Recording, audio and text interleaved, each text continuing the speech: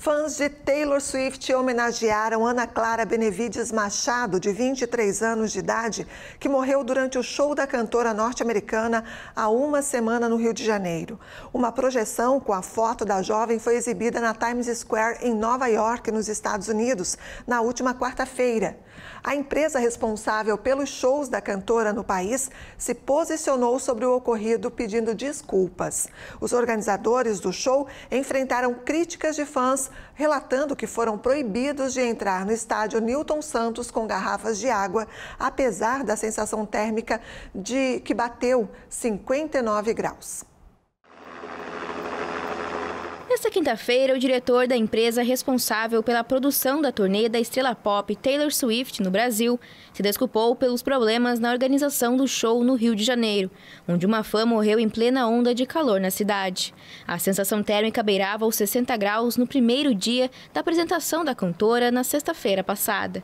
Muitos reclamaram da proibição de entrar com garrafas d'água no estádio Newton Santos, na zona norte do Rio, onde o show foi realizado. Sim, reconhecemos que poderíamos ter tomado algumas ações alternativas, adicionais a todas as outras que fizemos, como, por exemplo, criar locais de sombra nas áreas externas, alterar o horário dos shows inicialmente programados, enfatizar mais a permissão de ingressar com copos de água descartáveis estudante Ana Clara Benevides Machado, de 23 anos, morreu no começo do show de sexta-feira.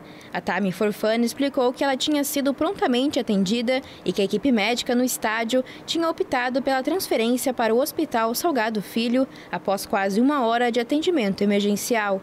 De acordo com o jornal O Globo, o primeiro boletim da necrópsia revelou que Ana Clara sofreu hemorragia pulmonar e três paradas cardíacas. Porém, mais exames ainda são necessários para determinar a causa da morte. No dia seguinte à tragédia, a artista americana se disse devastada.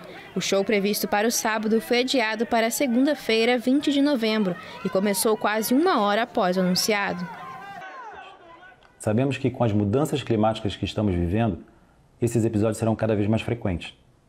Entendemos também que todo o setor precisa repensar sua atuação diante dessa nova realidade. De qualquer forma, quero aqui pedir desculpas a todos que não tiveram a melhor experiência possível. Entregar o melhor evento sempre será o nosso compromisso.